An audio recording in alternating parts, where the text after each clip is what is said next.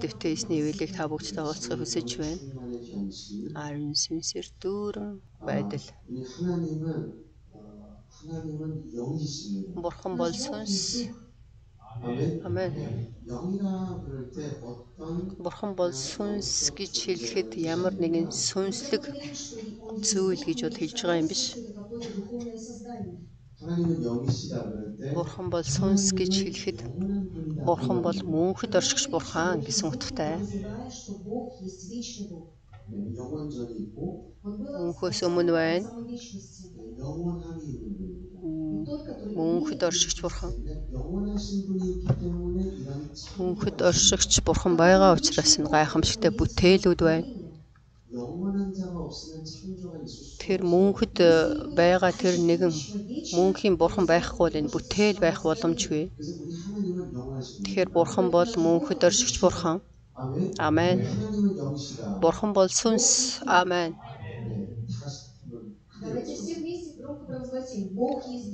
Бурхан бол сүнс. Амен. Бурхан бол сүнс. Чанга. Бог есть дух. Бурхан бол сүнс. Амен. Баярлаа. Сайн байна.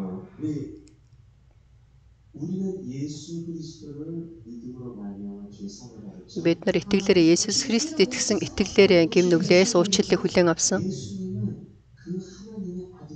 Есүс Христ бол Бурханы хүү.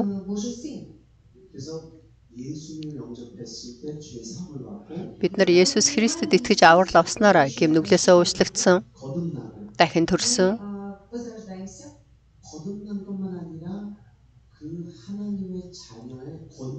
Дахин төрөө зогсохгүй бид нарт Бурхны хүүгийн эрх мэдэл бидэнтэй хамт байна. Энэ эрх мэдэл бол жинхэнэ. Жинхэнэ бодтой. Амен. Амен. Тэр бидэнд энэ эрх мэдэл байна гэж хэлэхэд бидний залбирлыг бурханд бид нар залбирдаг, бурхан бидний залбирлыг сонсдог. Бид нар бурханы хүүхдүүд учраас Тэгэхээр та бүгдийн залбирлыг бурхан сонсдог гэдэгт итгэдэг үү? Аамен. Энэ бол эрх мэдл. Тэгэхээр бидний хувьд энэ эрх мэдл байгаа учраас Есүсийн нэрээр бид нар муу сүнсийг хөөж, чөтгөрийг зайлуулж, өвчнийг ялж бид нар тэр эрх мэдлүүдээр бүх зүйлийг үзэж мэддэг. Эрх мэдл бидэнд байгаа учраас Бурханд үйлчилж байгаа Тэнгэр ичнэр хүртэл биднэрт үйлчлэхээр ирдэг. Амен. Христиан Христэд итгэдэг хүмүүс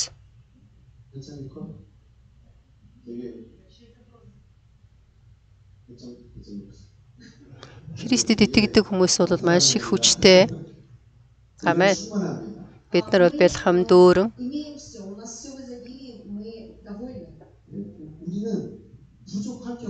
Бид нарт дутгах зүйл нэг ч үгүй. Амен.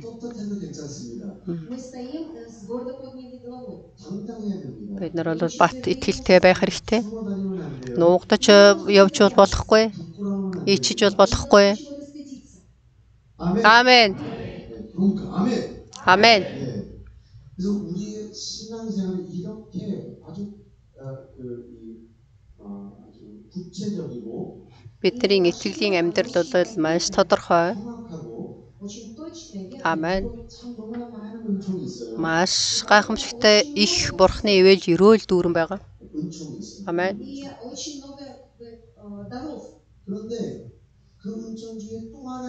Тэр ивэл ерөөл дотор бас өөр нэг зүйл байна. Итгэдэг хүн болгонд бурхан өөрийн ариун сүнсийг өгсөн. Аамен.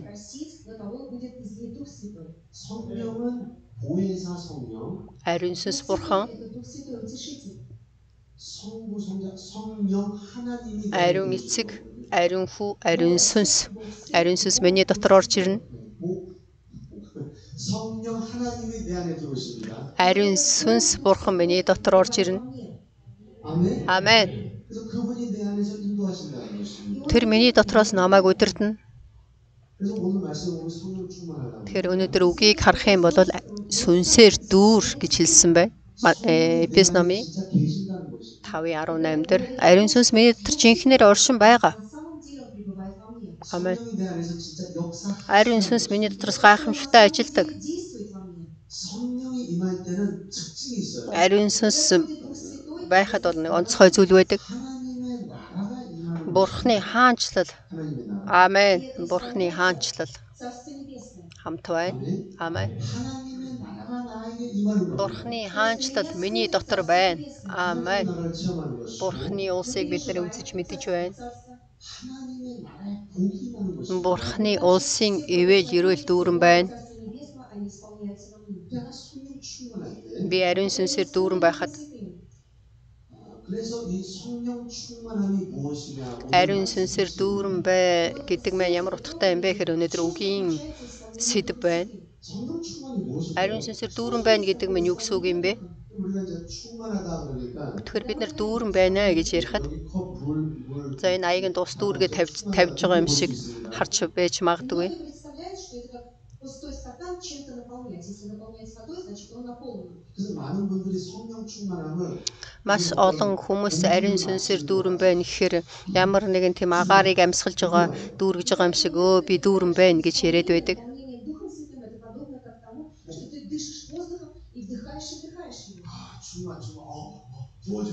Харин сүнсээр дүүрэн байна, дүүр гэж өгөөч, дүүр гэж өгөөч гэж яриад байдаг.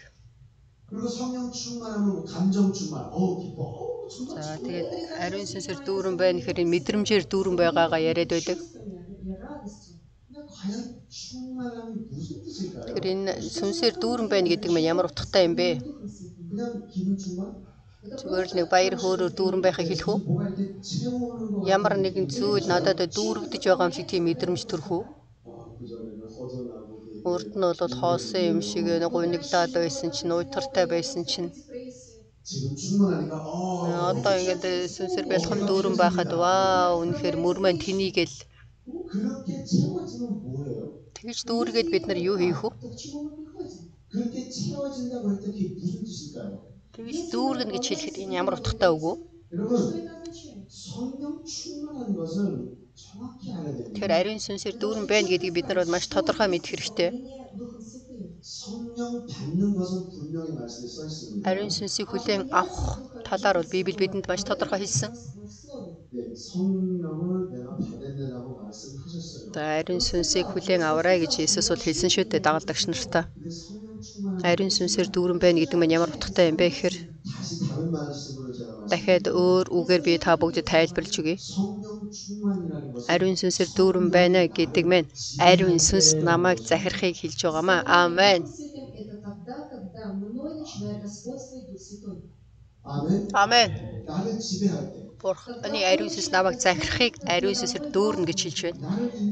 Намайг өдөртөхөд намайг бол өдөртөн алхахад тэр бол ариун сүнсээр дүүрэн байгаа байдлыг хэлж байна. Ариун сүнсээр дүүрэн байна гэж гар хөлн чичрэл өө гэдэг ахыг бол хэлж байгаа юм биш. Ариун сүнсээр дүүрэн байна гэдэг нь үгэн дээр бичсэн байна шүү дээ. Ариун сүнсээр дүүрэн бай гэж хэлсэн.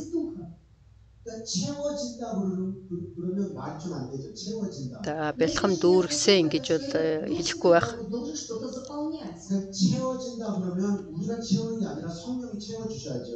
Ариун сүнс бид нар ариун сүнсээр дүүрнэхээр ариун сүнс биднийг дүүрхийг хэлж байна уу?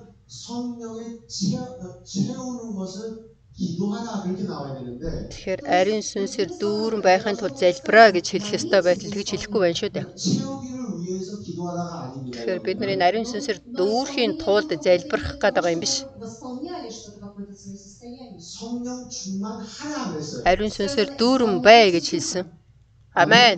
그러니까 성령 충만하라 그거는 Ариун сүнсээр дүүрэн бай гэж хэлж байгаа мэн. Ариун сүнсээр удирдуул захируулаа гэж хэлж байна. Прими господство Духа Святого. 그래서 여러분 성령의 감동을 받는 그 그때에 ариун сүнсний тэр хүч чадлыг авах хоромд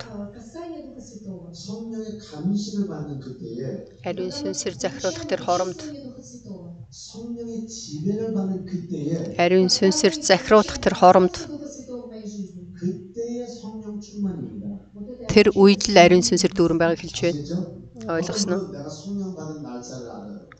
Зарим хүмүүс ариун сүнсийг авсан өдрөө сайн мэддэг.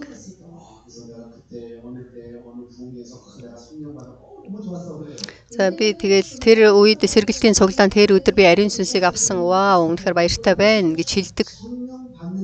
Ариун сүнсийг авсан тэр өдрөө мэдэж байгаа ч гэсэн Юунтэй адилхан бас нэг зүйл байна шүү дээ.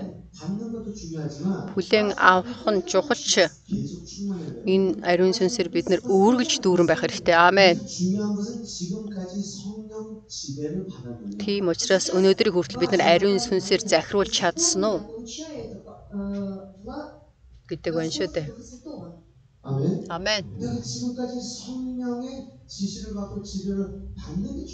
Тэгэхээр би ариун сүнсний мэдлэгээр мэрэгэн үгээр библийн үгээр ариун сүнсээр бид нар удирдах захируулах нь маш чухал. Дахиад хэлэх юм бол ариун сүнсийг авсан өнөөдрийг хүртэл би өөрийнхөө хүслийн дагуу би амьдрсан биш үү дээ. Вот до сих пор я жил так, как я хотел. Вот мы за Русуном гадаем зарим за Христ итгэдэг хүмүүс бол ариун сүнсийг авна. Ариун сүнсний тэр мэдрэмжийг хүлээн авдаггүй. Ариун сүнсний мэдлэгийн үгийг хүлээн авдаггүй. Ариун сүнсээр захируулдаггүй, удирдуулдаггүй. Тэр өөрийнхөө хүслийн дагуу л амьдардаг.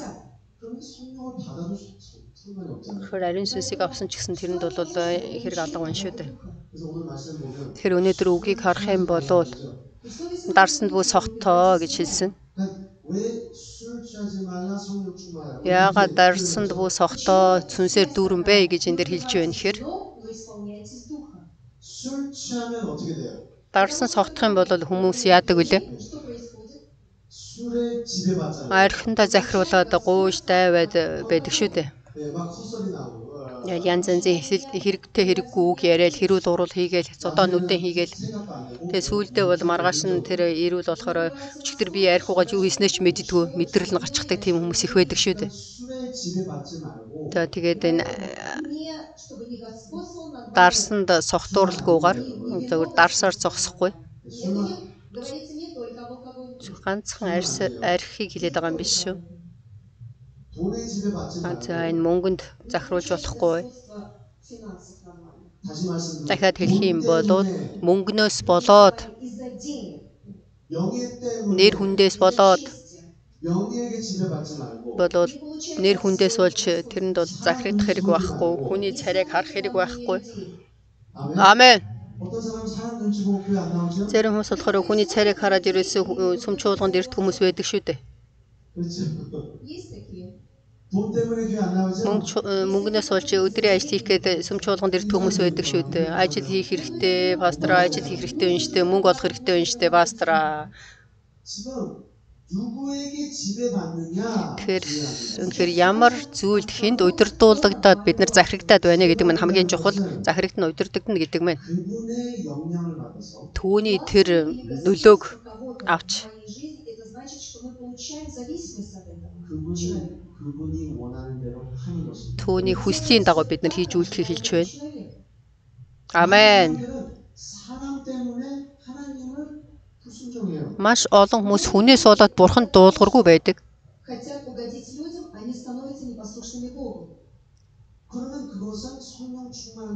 Тэгэхээр энэ бол ариун сүнсээр дүүрэн байгаа хүн биш ээ ариун сүнсээр дүүрэн байдаг хүн гэдэг мэн. ертөнцийг болвол өдөр донд захирна.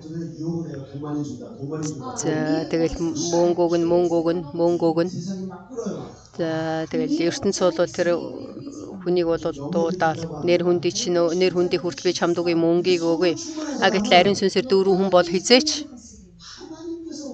Бурхны хүсч байгаа тэр зам руу явхаас биш ертөнцийн хүсрүү хүслээр бол явдггүй яагаад ариун сүнсээр өдөрдүүлж байгаа учраас аамен.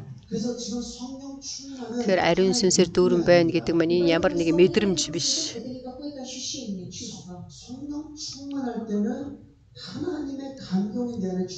Ариун сүнсээр дүүрэн байхад бурхны тэр хүч чадал мэрэгэн ухаан миний дотор дүүрэн байж Мэдлэхийг мэрэгэн ухаан дүүрэн байж Бурхны хүслийн дагуу би дагаж үйлдэхийг хэлж байна. Амен. Амен. Тэр ариун сүнсээр дүүрэн байна гэдэг мэн маш их чухал нэг зүйл байна.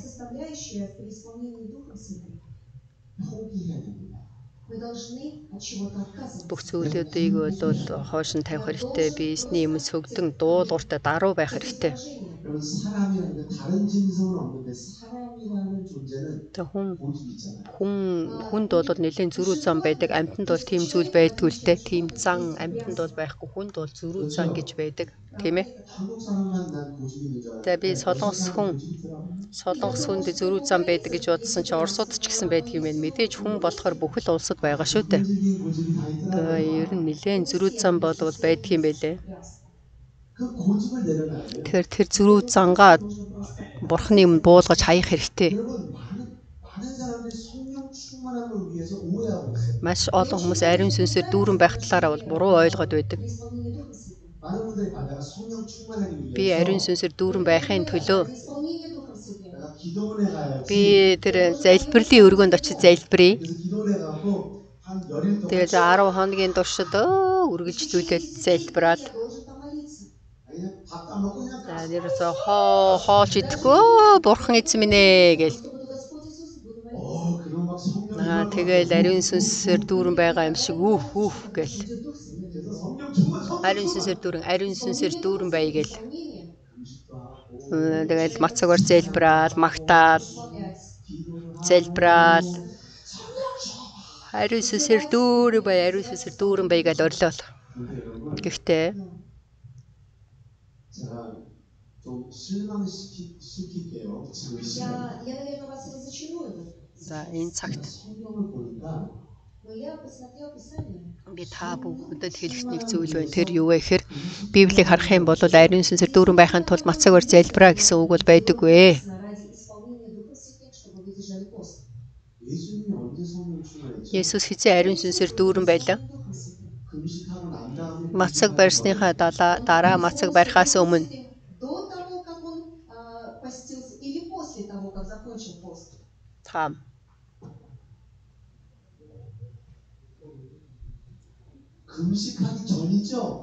До или после? мацаг барихаас өмнө үү мацаг барьсныхаа дараа юу? 성령 충만하기 위해서 금식하지 않았잖아요. За тэгэхээр ариун сүнсээр дүүрэн байхын тулд тэр мацаг бариагүй шүү дээ. Би ариун сүнсээр дүүрэн байхын төлөө 40 хоног мацгаар залбираалам ариун сүнсээр. Үгүй тэгж бол хийж үлдээгүй.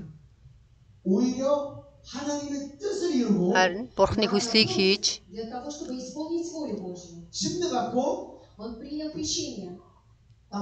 усан баталгаа авахад гаваад гарч ирэхэд бол түн дээр ариун сүнс дүүрсэн буусан шүү дээ. Ариун сүнсээр дүүрэн байсан тэр мацаг барьсан. Маш олон хүмүүс эсэргээрээ ойлгоод байдаг. А би үлсөд байна. Ариун сүнсээр дүүрэн байх хэрэгтэй байна. Э, хэцүү байна. Оо ажлыг хийх хүсэхгүй байна. Аа нөхөрч нөхөрч онцгүй эхнэр чирэггүй. Бүгд хэрэггүй залхаж байна. Би ариун сүнсээр дүүрэн байхыг хүсэж байна. Залбирлын өргөөр явцгаая. Энэ бол том алдаа. Тийм хүмүүс бол ямар байдалд орох вэ гэхээр энэ дэр юу ч үтсэн байна гэхээр ариун сүнсээр дүүрэн байхын төлөө ариун сүнсээр дүүрэн байхын төлөө зэлбэр аль эсвэл ариун сүнсээр дүүрэн бай гэж хэлсэн үү? Ариун сүнсээр дүүрэн бай. Аамен. Энэ бол маш их чухал. Ариун сүнсээр дүүрэн байна гэдэг мэн. Бурхан болон миний хоорондын харилцаа маш сайн зохицгоотой байх хэрэгтэй.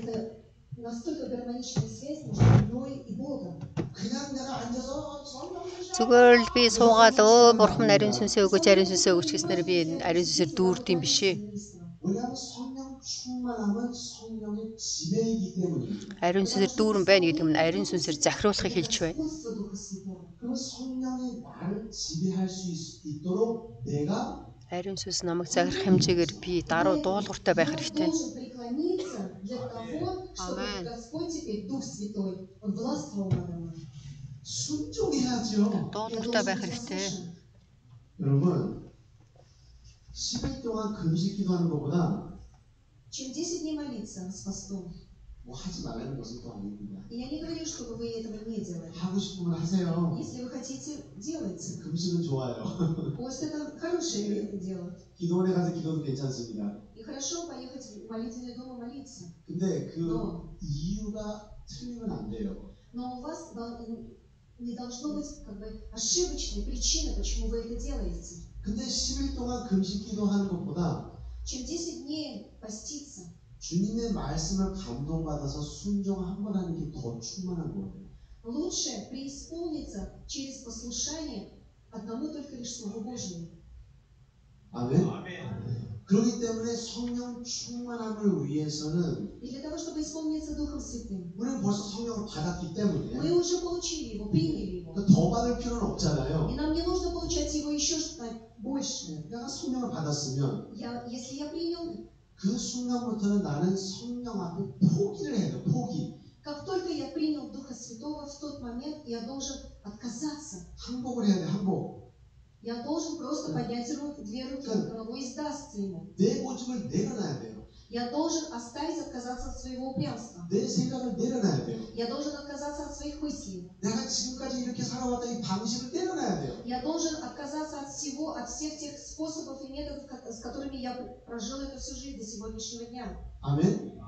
지금 많은 분들이 신앙생활 하면서 자기를 아직도 포기를 안 했어요. Сейчас очень многие, они живут жизнью веры, но от, много от чего еще не отказались. 지금 주인이 누구냐? Сейчас кто, кто ваш господин? Чуйнер эзэн бэ. Тэгэхээр хэн бидний эзэн болоод байна гэхээр Имийн өвөөгөө бидний эзэн болоод байна уу? Бидний ажил хийж байгаа ажлын газрын дарга бидний эзэн болоод байна. Биднэрт бидний эзэн мөнгө болоод байна. ертөнцийн нэр хүнд бидний нэр болоод ертөнцийн нэр хүнд бид нар эзэн болоод байна. Тэгэхээр би эзний өмнө үнэхээр сүгд даруу байж чадахгүй байх юм бол бид нар 40 хоног 80 хоног 100 өдөр үнэхээр мацаг барьж залбирсан ч хамаа байхгүй. Харин сүнсээр дүүрэн байж бол чадахгүй. Ариун сүнсээр дүүрэн байж чадахгүй байх юм болвол Бурхны хаанчлал над дээр ирж Бурхны хаанчлалыг үзэж мэдэх тэр сүнслэг ертөнц миний хувьд бол байхгүй болно. Тэгэхээр би хэр хэмжээгээр Бурхны өмнө даруй дуулууртай байна вэ?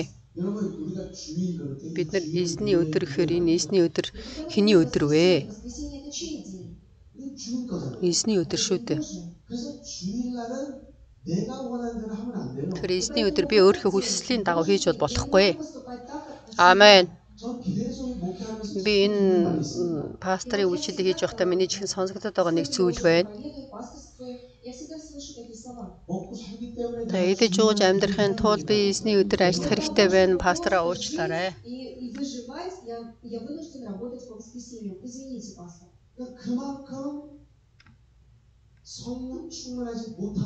Тэр хэмжээгээр ариун сүнсээр дүүрэн байж чадахгүй юм шүү дээ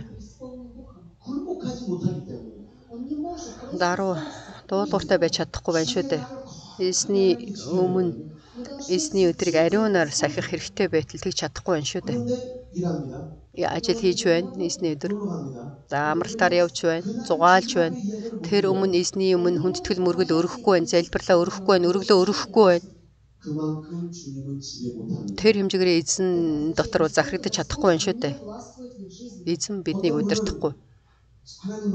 Зарим хүн эзний өмнө өргөл өрөх ёстой байтал тийм ийм шалтгаанаар болвол тийм ийм шалтгааныг э, урдаа бариад өргөл өргөдгүй.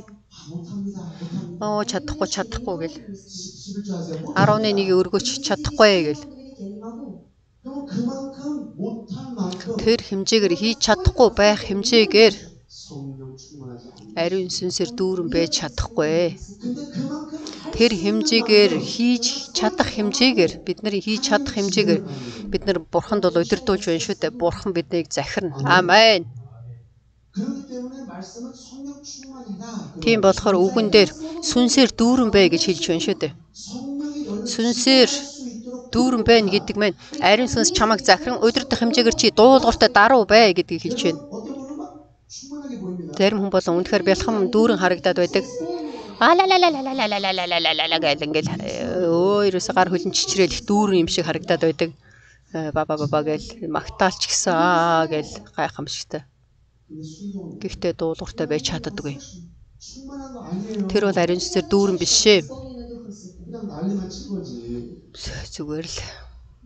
Nice nice цаашаа зүгээр л далдагнаад байгаа шүү дээ.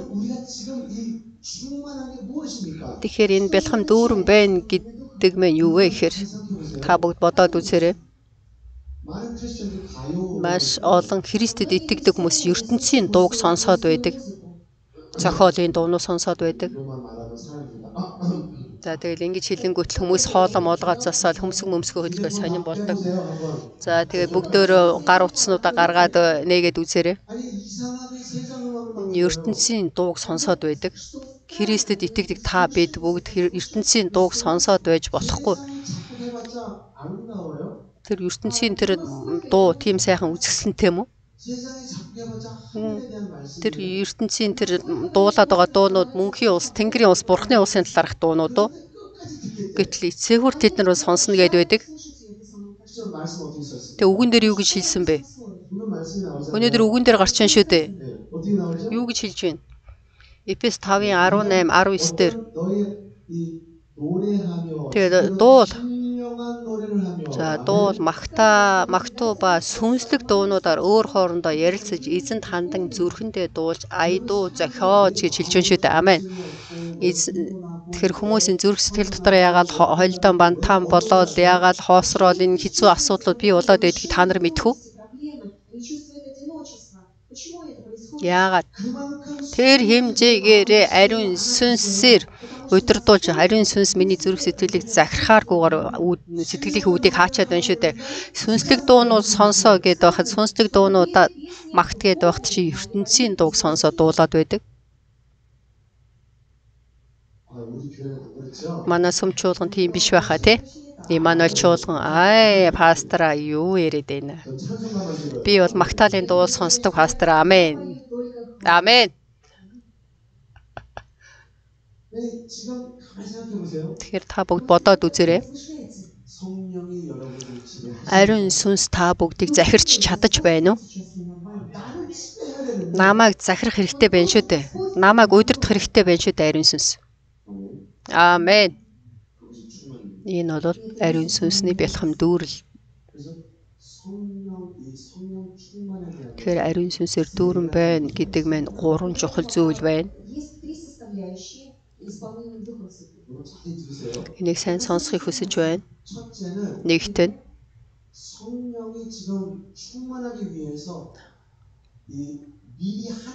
Ариун сүнсээр дүүрэн байхын тулд ариун сүнсний хийсэн зүйл байна. 성령이 역사하기 전에 Ариун сүнсийг ажиллахаас өмнө гайхамчтайгаа ажиллаж байгаа бурхан байна.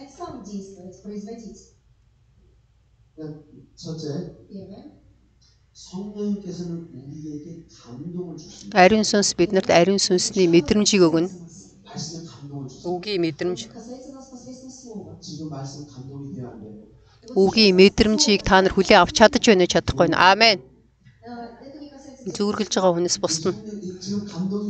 Тэгэхээр энэ үгийн энэ хүч чадлыг хүлээн авч чадаж байна та нар. Аамен.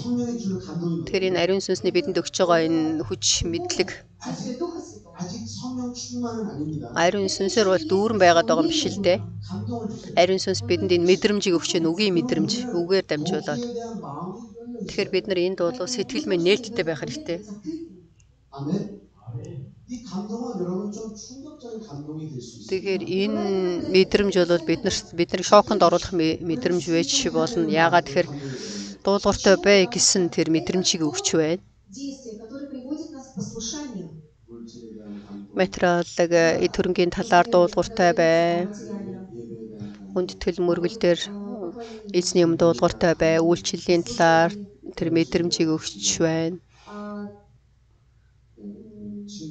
За нөхөрлийн талаарх, үйлчлэлийн талаарх тэр мэдрэмжүүдийг бидэнд өгч байна.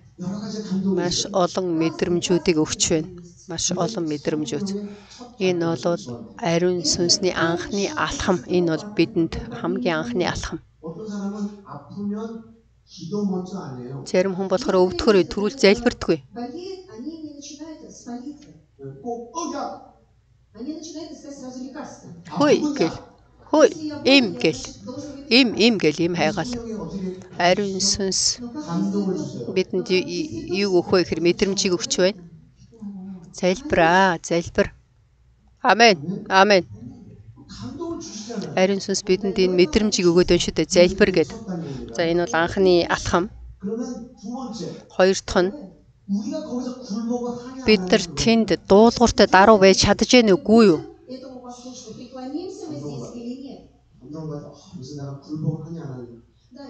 Би энд үнэхээр дуулууртай даруй байж чадж байна үгүй юу? Эзний өдрийг сахиа.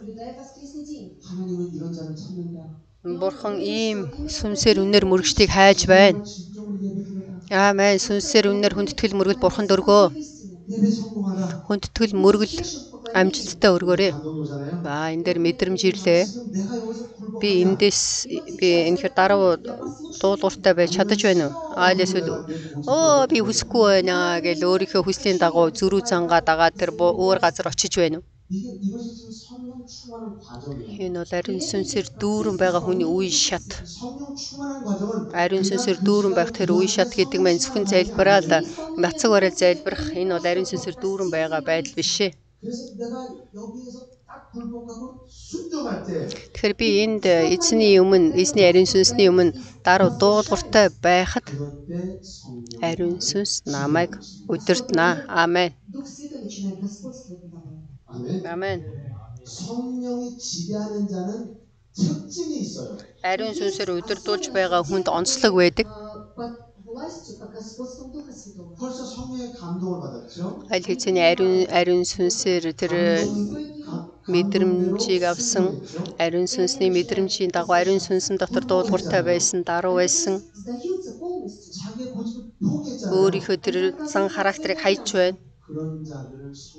Тийм хүмүүсийг Бурхны ариун сүнсөд хэрэгэлдэг. Амен.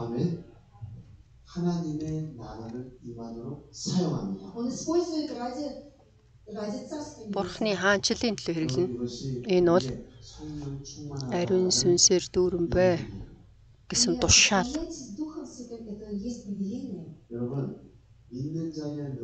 итгэдэг хүмүүст боломжгүй зөөлөд үгүй гэж бид нар маш их сонссон шүү дээ. Амен, амен. Тэгээ бид нар бол энэ үгийг сонсохдоо амен гэж хүлээн авдаг. Тэгээ бурхан бол тэгж хийж үйлдэхийг хүсдэг бурхан. Тэгсэн ч гэсэн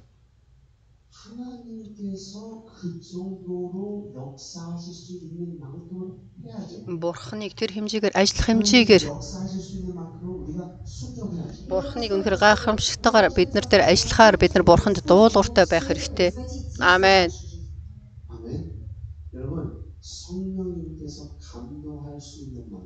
Ариун сүнс бидэнд тэр ариун сүнсний мэдрэмж өгөх хэмжээгээр. Ариун сүнс миний амьдрал дотор ажиллах хэмжээгээр. Тэр хязгааруул ариун сүнсээр дүүрэн байгаа хүнийг хэлж байна. Амен.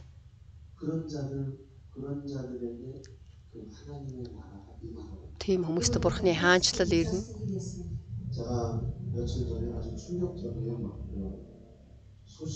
За хэд хоногийн өмнө би бол нэлээд шоконд орсон тийм үгийг сонслоо. Та бүгд э, 14 цагт ирж байгаа учраас нэрийг хэлэхэд хин гэж сайн мэдэхгүй баха. 11 цагт ирдэг э, итгэгч. За зарим хүмүүс бол таних бах. Тэгээ тэгээ Григори ахлагчтай адилхан бол тэр халзан толгойтой өсгөө өсөө хусчихсан итгэгч байгаа. Хятад итгэгч. Нилээн бол бакх э, итгэгч. За Есүс Христэд итгээд нэг жил л болж байгаа баг. Ким Гончл авралын зар тараагчийн дагалдагч. 아, 근데 그분이 참 아, 최근에 와서 많은 은혜를 받고 있어요. Түүний хувьд бол сүүлийн үед маш их хөвөлийг авч байгаа. Амен. Получал очень большую благодать. 아, 그리고 제, 참 중요한 것은 제 새벽기도 말씀을 잘 들어요. За тэгээд тэр итгэгч байна бол өөрийн залбирлын үгийг бол байнга сонсдог. Служение на рассвете, он все это внимательно слушает. 근데 여러분 신앙생활 잘하면 또 그만큼 많은 호흡을 한다.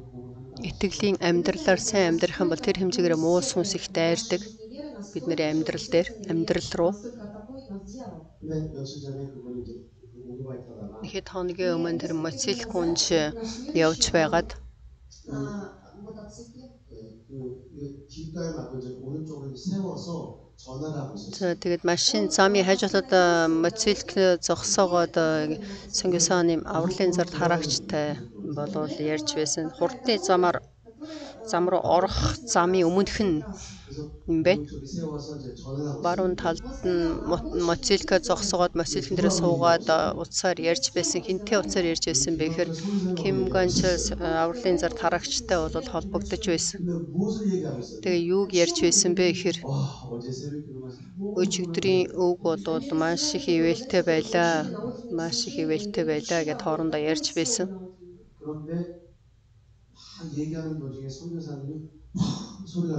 Тэгээд ярьж байсан чинь Кимгончл авралын задрагч бол пон гэсэн дууг сонссон. Тэгээ байна байна гэсэн чинь бол ерөөсөө дуу байдгүй. Хин нэг машинтайгаа авто хурдны замаар орох гэж байхдаа хурдтай явж байгаад тэр моцелхтэй хүнийг бол мөрөгч гсэн араас нь 고속도로 들어가서 팍 속도를 내면서 팍친 거예요. И Вот э, это был уже въезд на скоростную трассу, и поэтому скорость была хурдны большая. замын хажууд гэж мотоцикл зогсооно гэдэг бол буруултаа гэхэд араас нь машин орж ир мөрөгчсөн юм байна. 안전인데 За тэгээд тэр маш- э, мотоциклээ зогсоогоод тэр замын хажууд сууж байсан энэ солонгос замын дүрмд бол зөвшөөрөхгүй энэ. Замын хажууд машин зогсоож болохгүй гэсэн дүрмтэй. Аа тэгээд тэр хүн болвол моцилхэн дээр сууж байхдаа араас маш эргээд мөргсөн учраас бол түүний тэр моцилх нь бол ерөөсөө унахын аргагүйгээр шууд ерөөсөө моцилхийг бол хайсан байна. Түүний хувьд бол малгай өмсөн хамгаалттай малгай өмсөн байсан шүү дээ. За тэгээд энэ моцилх унах юм уу? Тэгээд тэр дугуй мугуу унахтаа бол та нар малгай өмсөх хэрэгтэй шүү дээ. Толгоогоо хамгаалах. За тэгээд энэ хамгаалтын малгай өмсөн байсан учраас тарих нь бол хагараагүй малгай нь бол өстой яам бий явсан юм бэ? За тэгээд э, түүний хувьд бол гараас маш ирээ зогсон учраас нисэд холоо явсан.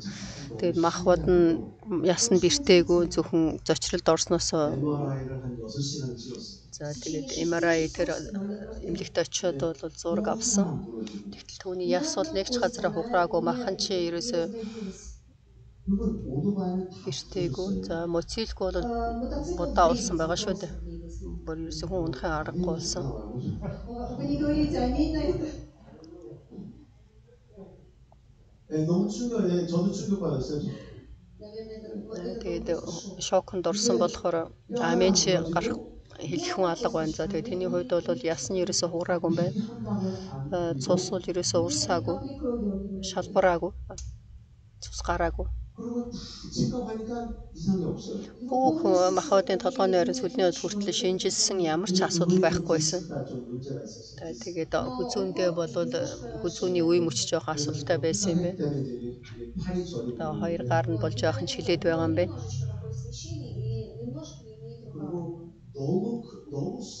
Долгог долгос хатцаагүй маш их хүчтэй араас нь зогсон учраас мөргсөн учраас хүний хувьд бол ерөөсөө энэ бүх зүйлийг бол мартсан бай. За тэгээ тэний тэр оюун санаа нь бол март санаа нь байхгүй болсон. За 3 хоног байна. За тэгээд түүний тэр бодол санаа нь бол орж гараад байгаа юм байна. Би өчтөр олцсон. Поехал на посещение. 와 근데 그 형제님의 얼굴이 완전히 빛나는 거예요. За тэгээ түүний тэр нүрнээс бол нар гэрэлтэж байсан. Я просто увидел, он просто светится. 자기 너무 감사해요. Түүний амнаас гарч байгаа үг нь ерөөсөө л талархлын үг гараад байсан. Би эзэнд итгээгүй урдны тэр хулиган амьдралаар амьдарч байсан бол боорг л өвхөх байсан байх. Харин одоо эзэнд итгэсэн учраас эзэн намайг хамгаалж байна гэж ерөөсөө л талархлын үг гараад байсан. Тийм бол түүний хувьд бол бурхан хамгаалсан учраас э, ерөөсөө ясан ч хуураагүй цусч гараагүй уншид байс. Энэ бол үнэхээр бурханы гайхамшигтай тэмдэг.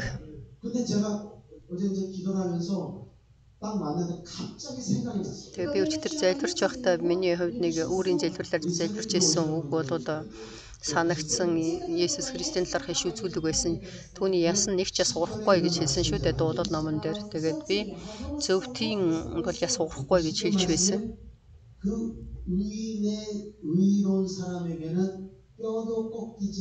Зөвхөн түүний яс хуурахгүй гэж болоод иш үзүүлсэн Есүсийн талаар иш үзүүлсэн үг энийг би бол номлосон байгаа. Тэр үг болохоор эзний талаар хэлсэн үг байна. Харин бид нар бол эзний дотор байна. Тэгээ миний хувьд бол ингэж хэлсэн удаа байна.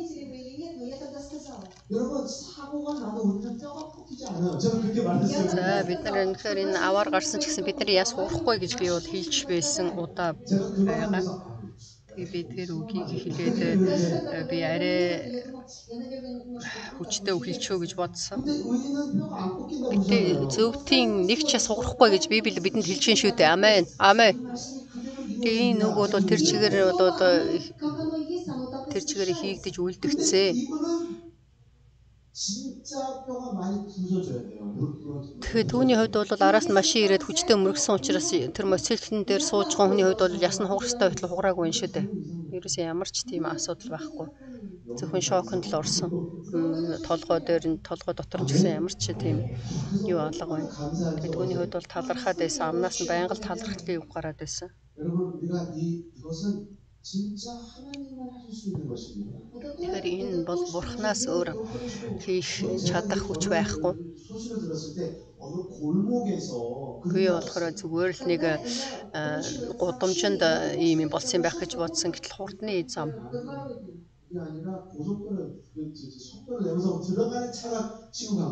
Тэгээд хурдны зам руу орж байгаа машин. Бол дайраад явсан байна. Энэ бол э, муу сүнсний ажил байна. Тэр хүний хувьд ч гэсэн мөргсөн хүний хувьд миний буруу гэж хэлсэн. Тэг юу харж байгаад мөргцэн мэдэхгүй бодвол гар утсаал харж байсан баг. Энэ бол муу сүнсээ. Энэ ертөнц бол мөнхийн улс биш. Би өөрийн хүслийн дагуу амьдарч байгаа юм шиг санагдаж байна үгүй ээ тийм биш. Бидний зүрх сэтгэл махбод ариун сүнсээр удирдуулах хэрэгтэй. Миний сүнс бодол маань бүгд ариун сүнсээр удирдуулах хэрэгтэй. Бурхны ажлуудыг би энэ дотор хийх хэрэгтэй.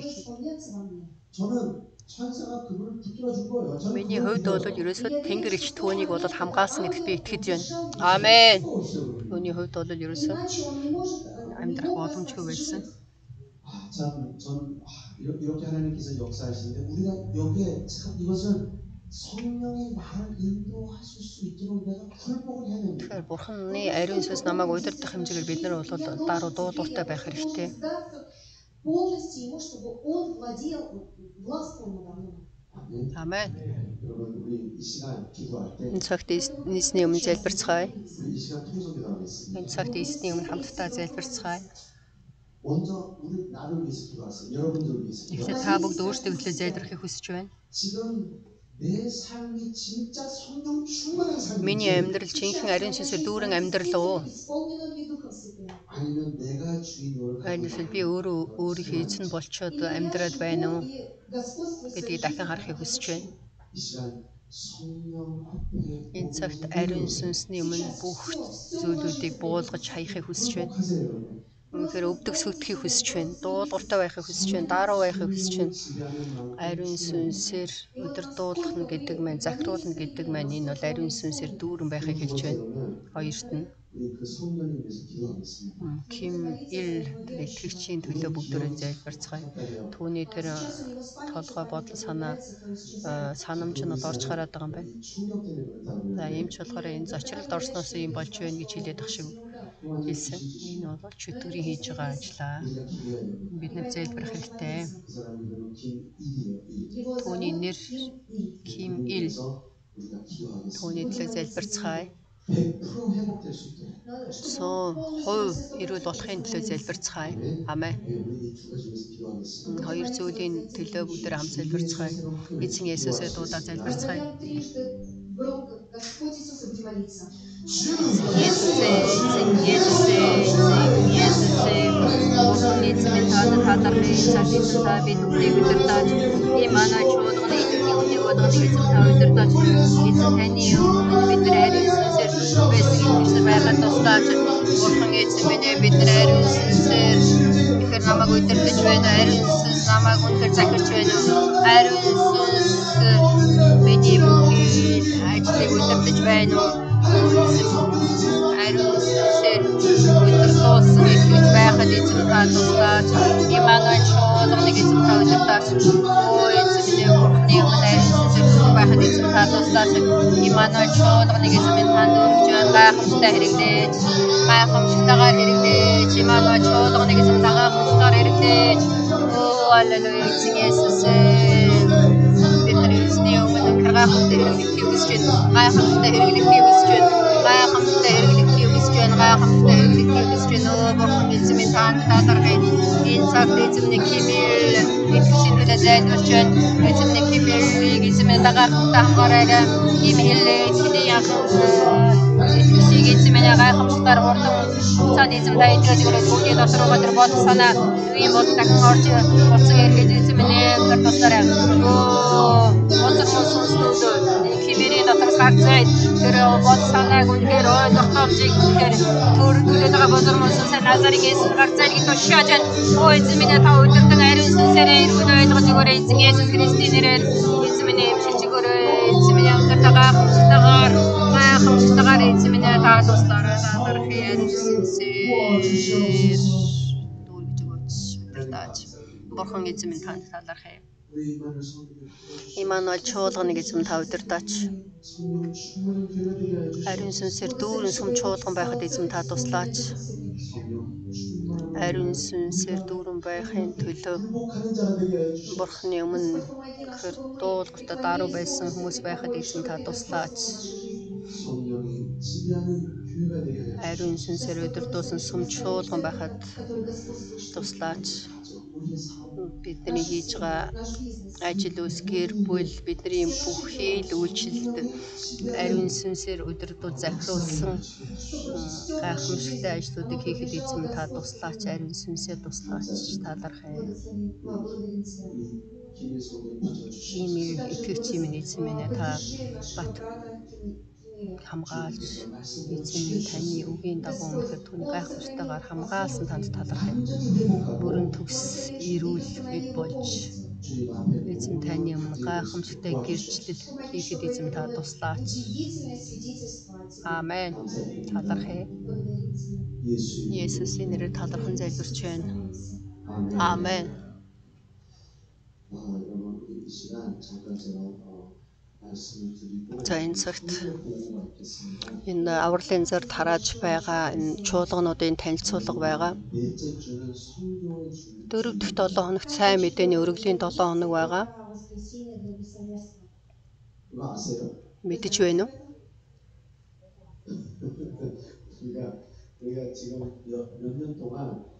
За бид нар бол 2 3 жилийн туршид дөрөвдөх 7 хоногийн сарын 4-т 7 хоногийн сүүлчийн өдөр сайн мэдээний өргөлийн өдөр байгаа.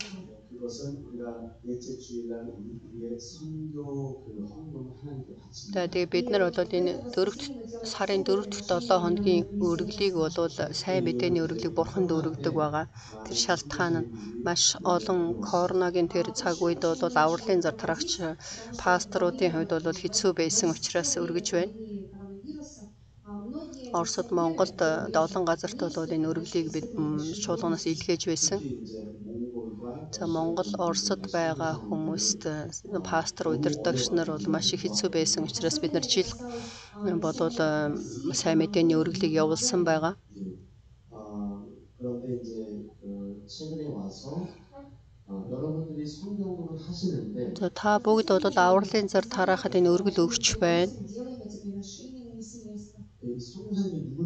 За тэгэхээр энэ авралын зар өгч байгаа авралын зар тарагч пасторуд маань хийм бэ гэдгийг бид нар сайн мэд хэрэгтэй байна. За бид нар урд нь бол энэ самбар гаргаа тэн дээр зургийг бол тавьж байсан. Дөрөвдөх 7 хоногийн тэр сайн мэдээний өдөр учраас 5 минутын туршид болон Монгол пасторуудыг нэг нэгээр бол танилцуулнаа.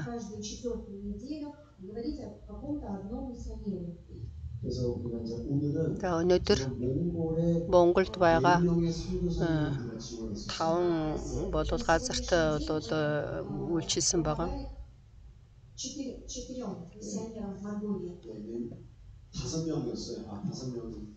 Таван газарт. Э, Сегүндээ.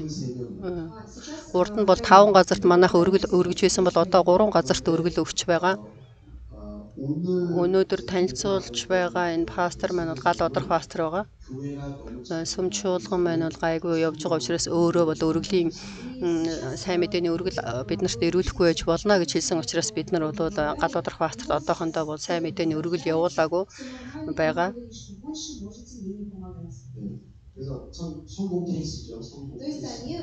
Тэгээ энэ бол болж байна. За тэгээд энэ дөрвөн пасторын талаар бид нар бол сар болгон танилцуулна. За солонгос сар сайн ойлгох боломжгүй учраас За энэ сард бол нэг л хүнийг танилцуулж байгаа галуудах пастор дараачийн сар Орс Камчагад байгаа Алекс пасторын талаар бол танилцуулах байгаа. следующий- в следующем месяце мы расскажем вам о пасторе на Кам- с Камчатки России. Он остается. 그래서 좀 오늘 우리 몽, 몽골 성령사님에 대한 것을 좀 듣겠습니다. За Монголд авралын зар тараагч Сегодня пастор. мы посмотрим и услышим 그렇죠. о монгольском миссионере. 우리 교회 몽골 선교사님 Это, это 김소라 선교사님 а, миссионер в нашей церкви, миссионер Кирсора. 소개하고 어, 이 PPT는 레라, 레라가 너무 잘 만들었어요. И также у нас будет слайды. 안녕하세요. Здравствуйте. 오늘 몽골에 저기 이마늘에서 1년 동안 후원했던 늘 교회가 있어요. 거기 하다 목사님을 우리가 소개하고 싶어요. 지금 И сейчас я хочу вам представить, а, 보고 좀 сейчас хочу представить вам одного миссионера монгольского, которому мы помогали а, в 하다 течение 목사님 одного месяца. Это церковь в, э, в Е. 로단마토에 지금 계시고 있어요. А, Он сейчас находится в а, Монголии. 음, 자기는 아들 세 명하고 사모님하고 다섯 명. А, Это пастор Гала, э, его жена и трое сыновей. 아, 네, 바다 목사님은 2009년도 목사님 안수 받았고 2014년도 늘 교 회를 어, 설립했습니다. А, В 2009 году его э, рукоположили на пасторе, и в 2014 году он основал церковь Мир. 그리고 지금 어른하고 어르신이 어, 거의 60명 합쳐서 И сейчас а, общее количество верующих около 60 человек, 30 детей и 30 взрослых.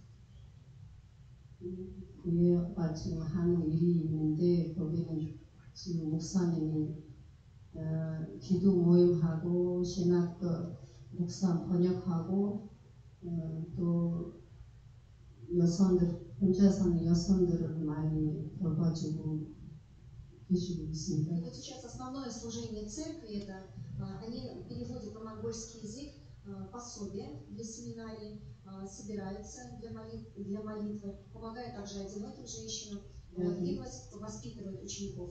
음, 음, 몽골에 있는 화상 목사님이 저 비전은 몽골에 지금 러시아 사람들이 많이 있어요. 러시아 사람들 또 많이 전도하고 전도하고 몽골로 또 애들이 너무 많아서 애들도 성경 말씀 많이 가르쳐 주려고 비전 지금 И сейчас А, видение спасибо. и э, направление церкви, а, во-первых, сейчас очень много переезжают туда с России, и также там очень много детей, и поэтому учить дети- детей Библии.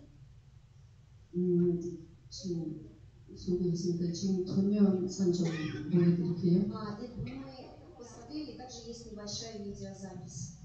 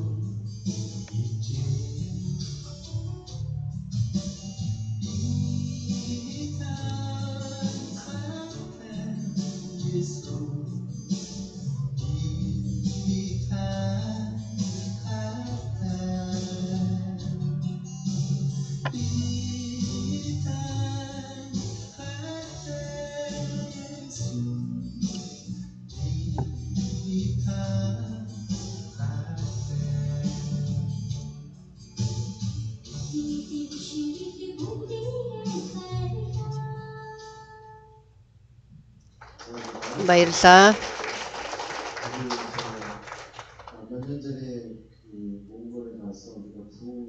Ичин шигхүүн янд ТД болон бид нар сэргэлтийн цуглаан пасторны семинарыг хийхэд э,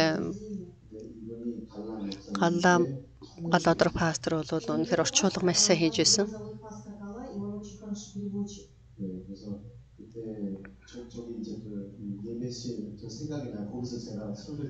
Тэр э, пастрын тэр мөрөглийн танхимд бол би тэнд номлол хийж байсан. Семинар пасторны семинар санаж байна. Тэгэхээр манай сүм чуулган бол үргэлж сайн мэдээний өргөл бол өргөж байгаа. Тэгээ та бүгдийн энэ өгч байгаа энэ өргөл бол энэ Монгол одоо гурван газарт өгөгдөж байгаа. Одоо ганцхан тэр Монголд байгаа пасторуудад маань одоо нэг хүний 300 мянган вон явж байгаа. Та бүгдийн сайн мэдээний өргөл болвол бид нар Монголд бас 3 хүнд өгч байгаа. За өнөөдөр Эммануэль кафе эхэлсэн. Сар болгон сар болгон бид нэг кафегаар дамжуулаад нэг авралын зар тарагч пастрийнхаа төлөө бид нар болвол энэ өргөлийг өгч байгаа.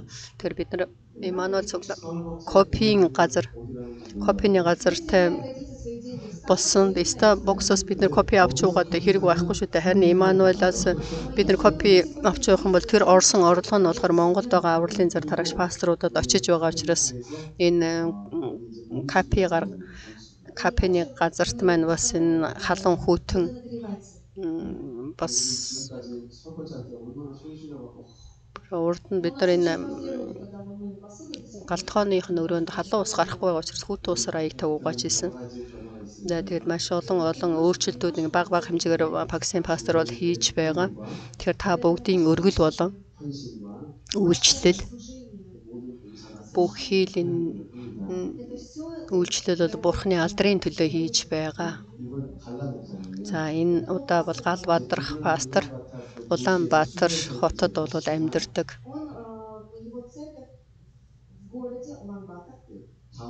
Дараачийн сар болохоор хөдөө байгаа пастор. Энэ талаар бид нар одоо Шижир Баатар пастрын талаар бид нар дараачийн эзний дараачийн сард болоод бид нар э, танилцуулах болон Шижир Баатар пастрын цуглааныг танилцуулна хөвсгөл аймагт байгаа халилуя мөрөн шуулган энэ талаар танилцуулна. Энэ удаа 1 минут гал удрах пастрын болон алтан навч болон түүний 3 хүү гийн талаар түүний гэр бүл болон түүний чуулганд байгаа 60 итгэгчийн төлөө бүгдөө энэ цагт залбирцгаая. Залуу хүмүүс их байна шүү дээ. Тэгэхээр тэр үйлчлэлийн төлөө бүгдөө залбирцгаая. Бурхан эзэн минь танд талархъя. Цагт эзэн минь та бид үдийг өдөрдөөч.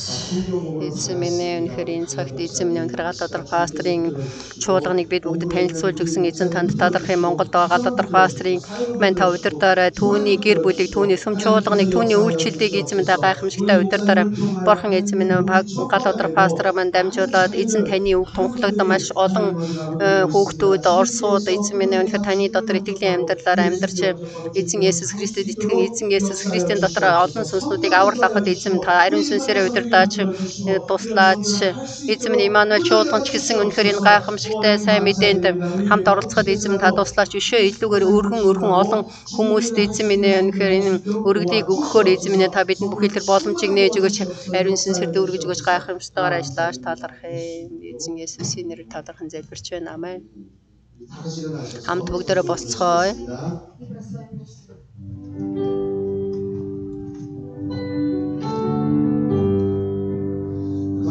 Lord,